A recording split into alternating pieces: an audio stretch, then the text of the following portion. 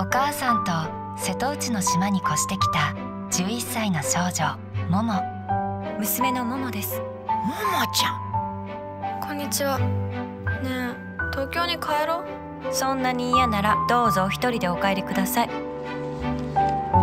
なんて書きたかったの？お父さん。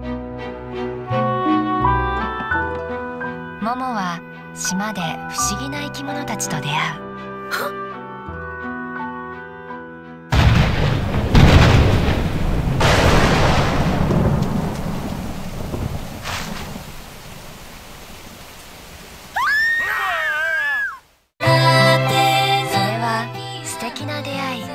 わしは岩と申す。細いのが川でちいこいのが豆でござる。何がお守り様よ！私とお母さんどうする気なのよ！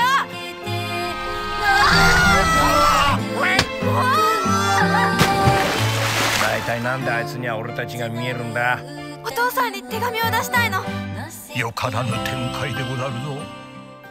お母さんお父さんのことも忘れちゃったんだよ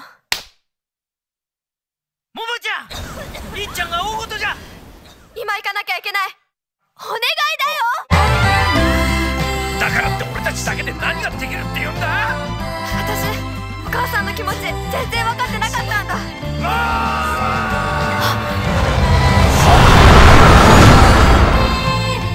桃への手紙。どと減らそう